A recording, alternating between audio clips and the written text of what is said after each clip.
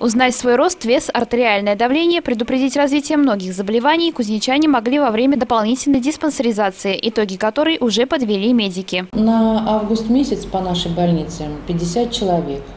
Мы в настоящее время осмотрели уже 100 человек, то есть мы перевыполнили план по дополнительной диспансеризации за август месяц и по итогам 8 месяцев.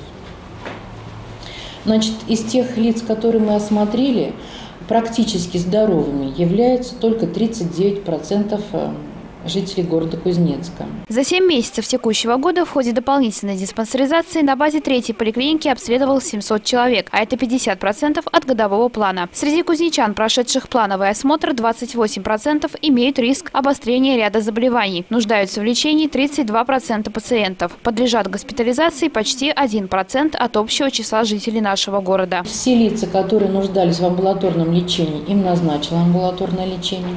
Те, которые нуждались в лечении в стационаре, пролечены в стационаре. По данным дополнительной диспансеризации, первое место среди болезней занимают заболевания органов системы кровообращения. На втором – заболевания глаза. На третьей строке – заболевания мочеполовой системы. Дополнительная диспансеризация она направлена на выявление заболеваний среди обычного работающего населения.